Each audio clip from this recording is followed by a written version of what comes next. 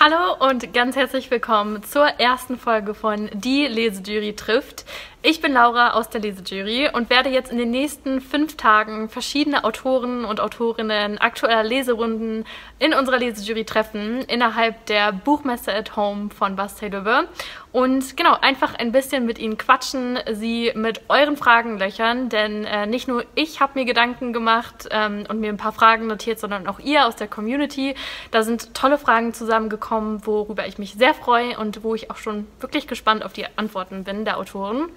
Genau, ich habe es mir, ich weiß gar nicht, ob ihr es sehen könnt, hier gemütlich gemacht auf meinem Sessel und werde jetzt gleich die erste Autorin treffen. Jedes Video steht unter einer anderen Emotion oder Stimmung. Wir starten heute mit Mut und ähm, für diese Emotion habe ich mir keine geringere als Fenja Lüders eingeladen, die Autorin der Speicherstadt-Saga. Und ich würde sagen, Frau Lüders, ähm, stellen Sie sich sehr, sehr gerne einmal selbst vor. Hallo, ich bin Fenja Lüders. Ich wohne und arbeite in Oldenburg und ich bin die Autorin der Speicherstadt-Saga, deren dritter Teil, Der Traum von Freiheit, Ende Juni in die Buchläden kommt. Ich freue mich besonders darüber, heute der Lesejury Frage und Antwort stehen zu können. Ja, der Tag heute steht ja unter der Stimmung Mut. Ähm, was würden Sie denn sagen, was bedeutet Mut für Sie persönlich? Was bedeutet Mut für mich? Ich habe lange darüber nachgedacht. Mut und Angst sind keine Gegensätze, sondern das eine bedingt das andere. Mutig ist der, der die Angst überwindet und das tut, was richtig ist. Oder was er als richtig empfindet. So sehe ich die Sache.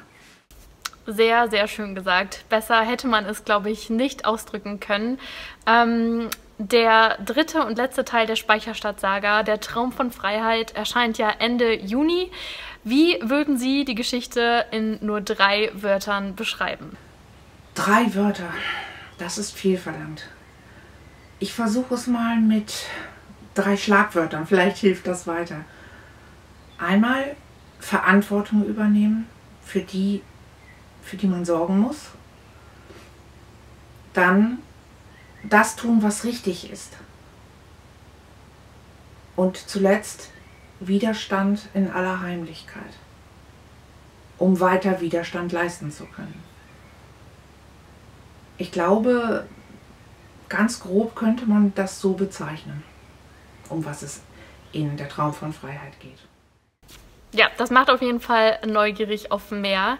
Die Lesejury-Community wollte wissen, ob es für die Oma Hiltrud aus den Büchern eine reale Vorlage gab. Und das interessiert mich auch sehr. Also war dem so oder eher nicht? Nein, für Oma Hiltrud gab es keine 1 zu 1 Vorlage, möchte ich mal sagen. Ähm, es gibt verschiedene Personen, die da einen Einfluss drauf hatten, wie sich diese Figur entwickelt hat. Zum einen möchte ich da an meine eigene Großmutter denken, die ähm, Jahrgang 1901 ähm, beide Weltkriege mitgemacht hat und ziemlich hart war, aber auf der anderen Seite auch sehr willensstark und durchsetzungsstark.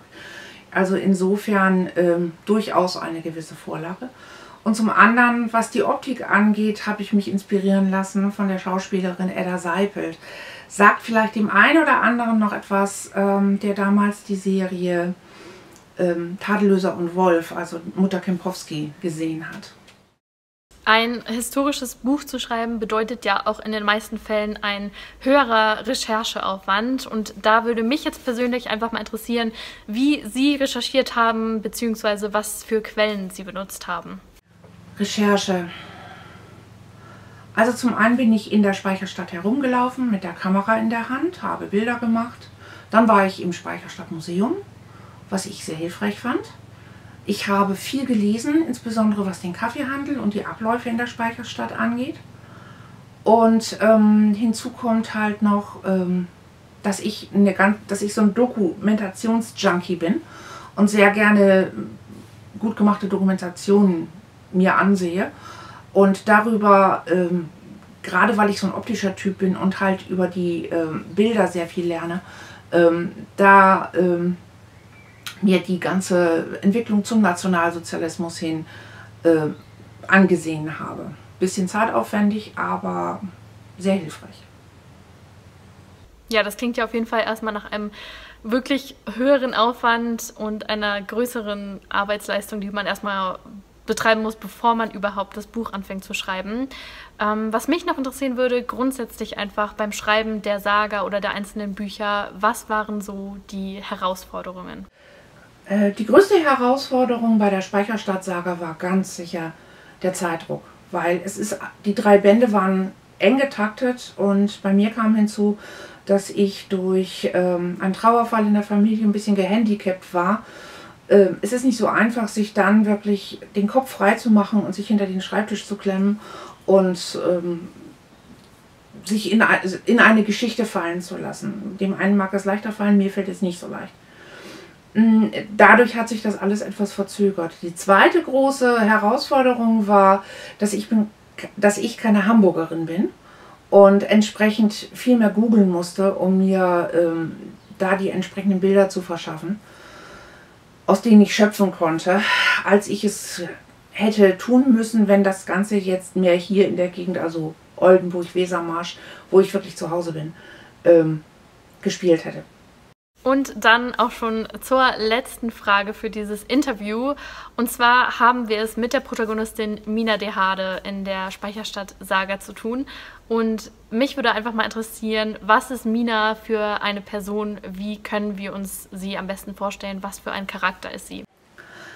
Ähm, Mina Dehade äh, ist natürlich ein bisschen wie ich selber bin.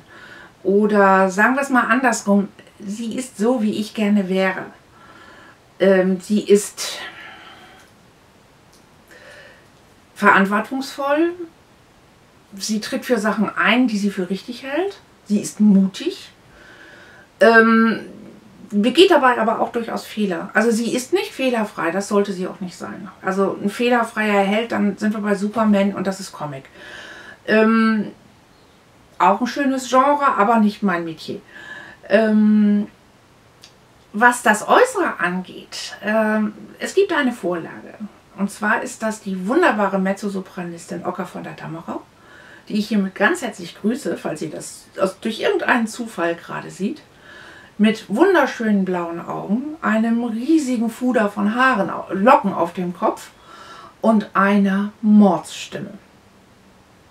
Alles klar. Vielen, vielen Dank, Fenja Lüders. Äh, wir wären damit auch schon am Ende angelangt dieses Interviews oder dieses Videos. Vielen, vielen Dank auf jeden Fall für eure Fragen. Es hat mir großen Spaß gemacht. Morgen geht es auch schon mit dem nächsten Gast weiter. Seid also gespannt, wen ich hier morgen erwarten werde und virtuell ein bisschen äh, mit euren Fragen löchern werde. Ja, vielen, vielen Dank fürs Einschalten. Wir sehen uns morgen, wenn ihr möchtet. Bis dahin. Tschüss.